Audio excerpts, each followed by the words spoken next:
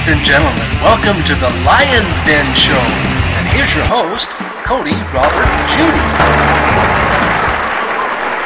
Welcome to the Lion's Den Show. I'm your host and your toast, Cody Robert Judy. Cheers. It's good to be with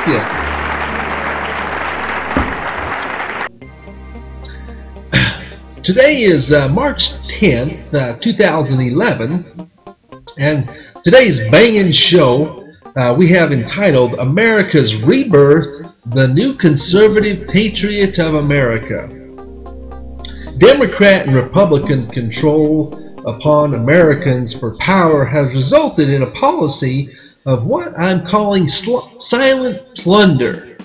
Not by the party who was in the majority or in control of the houses of Congress and the White House, but rather by the party who was not in majority or in control in the, in the White House. The result of this ultimately has been the total devastation of our Constitution, uh, rule of law. Uh, seen ultimately uh, by the occupant of the White House who is there because Democrats and Republicans have so little regard for our uh, Constitution's demands of a natural born citizen, and Obama has been allowed to sit in the office of the president. Now, you may say my theory is up in the night, uh, the silent plundering of America by the party trying to arrest power, but I tell you it is true. Nowhere has this become so clear, but to see and hear the Republican-controlled House conduct business as if all was well in the White House, and Obama was qualified to sit in the company of past presidents of the United States.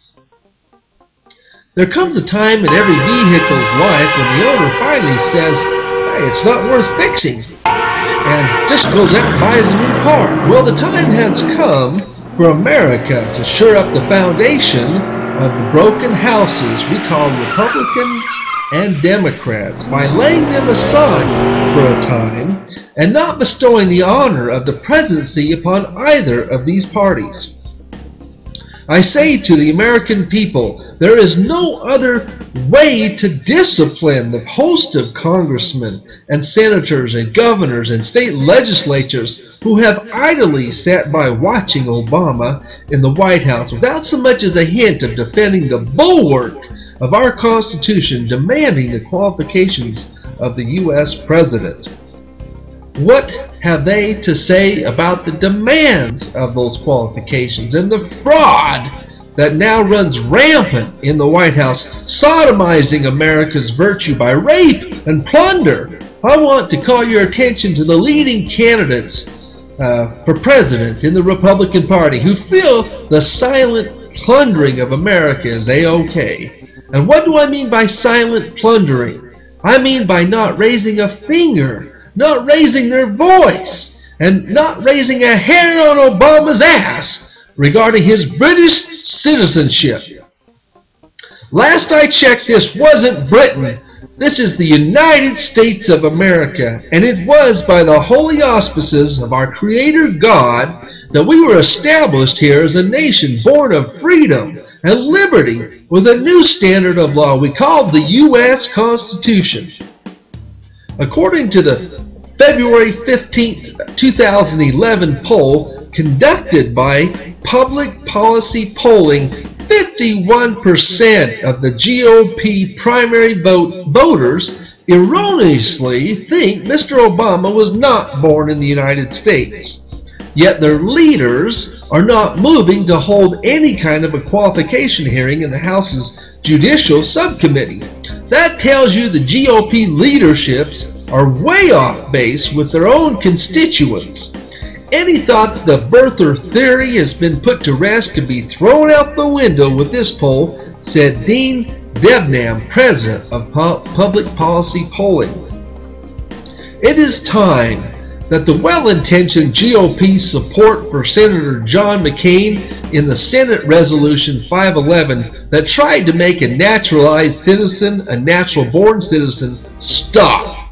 It is time that the U.S. senators and representatives learn the meaning of a natural born citizen and that it has nothing to do with the 14th Amendment. The framers wrote the clause in 1787 and the 14th Amendment was passed in 1868. There is no indication in the text of the amendment, its history, or in any court's decision that suggests that the amendment uh, changed Article 2's natural born citizen clause, but I have letters from my own U.S. senators, including Senator Hatch, from Utah who once chaired the Judicial Committee of the Senate that shows them failing, falling flat on their faces, defending this as if they were defending the fact the earth was flat, with the globe of the world sitting right in their office behind them.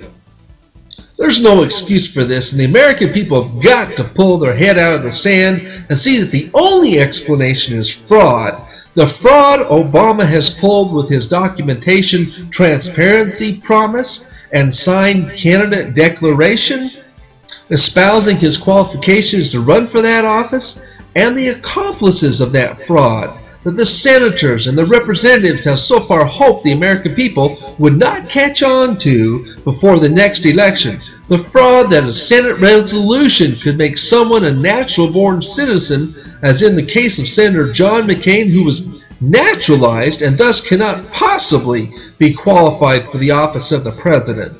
Well, I say the game is up. Now, you communistic trough feeders, until you want to get out of the slop and trough of Obama, you are in the muck and mire with him up to your eyeballs. The Republicans and Democrats know that they have lost the legal arguments on presidential eligibility and are desperately trying to wiggle out of the uh, consequential predicaments they find themselves in now with America catching on. This is analogous to the current death throes of Colonel Gaddafi in Libya. These idiots are trying to go down with a fight for their stained egos. They are proving more valuable to them than the Constitution of the United States and the future generations of the United States that are selling down the road in the process. I only wish they had fought for the Constitution as they have fought for their slop in the trough of Obama. I tell you, the American people are on to you, traitors and tyrants, and you will not be allowed to trash our Constitution. We're going to carry out a rigorous investigation from, of everyone who has played a part in the insult and assault to the law of we the people. The guilty culprits are going to be identified, vilified, and disdained as an enemy of the Republic for which we stand. There is not going to be any hiding place for this criminal cabal here in the United States, so help us God. While Mitt Romney edged out Huckabee for the top slot best suited for uh, to, or to be president. Nowhere is Romney in Romney's latest March 8, 8th op-ed published in the Boston Herald 2011 entitled Why He's Failing Obama and How to Get It Right. Mitt Romney rolls out Obama's misery index. Nowhere does Romney make a stand for the presidential qualifications of our Constitution. Now I ask 51% of the Republicans, how can you want a presidential candidate who has no balls for the Constitution, who hides and skirts the issues like he's protecting the social communist Marxist radical himself? It's not like the principle of the Constitution interferes with Obama's Islamic religion or anything. It's his British citizenship, stupid, that we all know disqualifies him from being an occupant of the White House. This is not going to stand with America. No, it's not going to stand. No, no, no. It's not going to stand. Because it's wrong, wrong, wrong. With this kind of report, it's a wonder Mitt Romney isn't seriously considering Hillary Clinton as his vice presidential running mate. Is that what you're going to do? Because really, there isn't any difference between what the Republicans and the Democrats are pulling when it comes to this most important issue of our time, and that's whether we have a president with the balls to stand up for the Constitution and the Republic in the most blatant fraud of our history. This is not the conservative leadership we need right now in America. And I'm telling the Republican Party, stay home. Don't even come out. I'm going to make you look sick. Don't even come out in this arena because you're going to lose. You're going to lose big time. You're going to look sick. And you deserve to lose because you have no courage and you won't take a stand for our Constitution. That's your record. I live with mine. You can live with yours. There is not a natural born citizen in this whole United States that needed Congress's approval for it. And that is a hard fact. My name is Cody Robert Judy and I'm running for president. I want every patriot in America to cowboy up and spur them in the guts.